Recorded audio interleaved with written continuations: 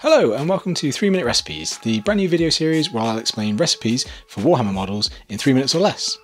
The idea behind this series is that I'm going to explain to you in 3 minutes or less a recipe to paint a certain part of a model. So you don't have to watch a big long video on painting a whole model just to find that one snippet of information you need. You can just watch a video for a certain part and get the information you need really quickly. So a lot of you asked how I did the skin for my Ufthak Blackhawk Mini that Games Workshop kindly sent me, and it gave me an idea to start the series of recipe videos for things that need a bit more explanation than a short or a reel, but not a full length YouTube video.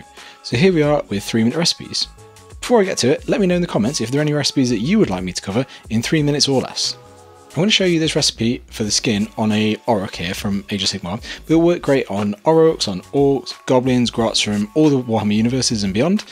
We're going to start with the model primed in black and we're going to use airbrush here to get our first base coat down which is Vallejo Game Air Red Terracotta and we're going to work with the transparency of these colours to leave some of the shadows darker than the main highlight areas.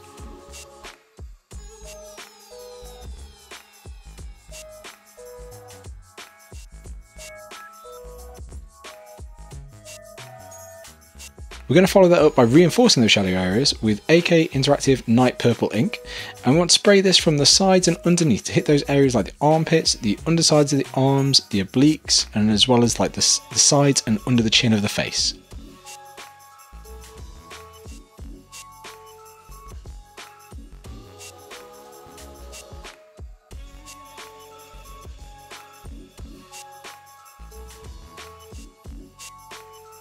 Next we're going to get our green tone, which is Vallejo Model Air Pale Green.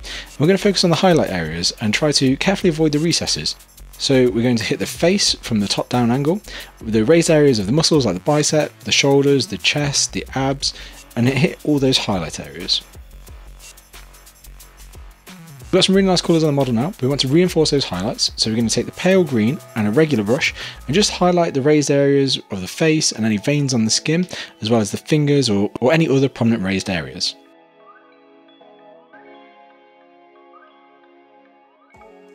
Lastly, we're going to take some Volupus Pink and we're going to water it around about one to one with water and use that sparingly in areas like inside the mouth, around the eyes, and we can also use it as a glaze to glaze into the shadows underneath things like veins or in particular recesses in the muscles that might have hit a bit hard with the pale green through the airbrush. And there we are, there's our Grimdark Ork skin. I hope you liked the video guys. If you did, please let me know in the comments below if that you liked it, like this format, um, if there's any recipes you'd like me to cover, and if you could subscribe to the channel, that'd be great. Thanks very much, see you next time, bye!